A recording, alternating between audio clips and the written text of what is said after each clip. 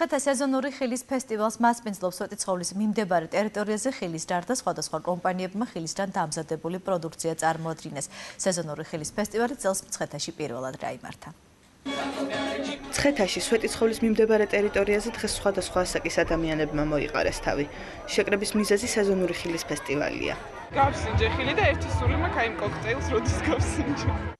სეზონური ხილის ფესტივალზე სხვადასხვა კომპანიებმა ხილის წვენები, ნაყინი და სხვა ნაწარმი წარმოადგინეს. ფესტივალის მონაწილეებმა მოამზადეს ხილის ალკოჰოლური და უალკოჰოლო სასმელები.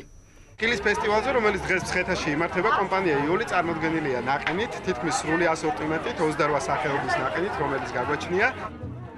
ხილის ფესტივალი ტურიზმის ეროვნული ადმინისტრაციის მიერ მომზადებული პროექტის შემოიერეს საქართველოს ნაწილია.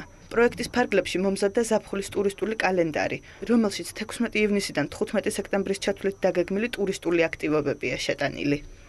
დღევანდელ დღეს, რა თქმა უნდა, აქტაბზის საზოგადოებას გვინდა, რომ განწყობა შეუქმნათ ზაფხულის ტურისტული სეზონის მეორეს თუ იმის мотиваცია, რომ უკვე შემოიარონ საქართველოს ჩვენთან ერთად ყოველ შაბათ-კვირას დაესწრონ სხვადასხვა ღონისძიებებს 16 სექტემბრამდე საქართველოს absolutely ყველა რეგიონში. ღონისძიებას ყაზახეთის ტუროპერატორები და ჟურნალისტები დაესწრნენ, რომლებიც საქართველოში ქართული კულტურისა და ტურისტული ზონების დასათვალიერებლად არიან ჩამოსულები. პირველივე დღიდან შეყვარებული ვარ საქართველოსზე. დიდი ხანია არ შემხვედრია ესეთი კეთილმოსურნე ხალხი. აქ ყველაფერი ძალიან გემრიელი და ლამაზია.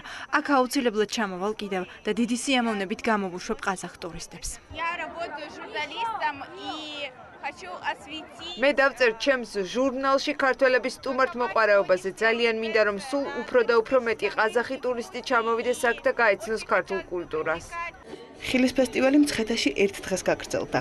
საფხულის ტურისტული კალენდრის შემდეგი ღონისძიება ერთ კვირაში ბორჯომში, ჯომართობის ფესტივალზე გამართება.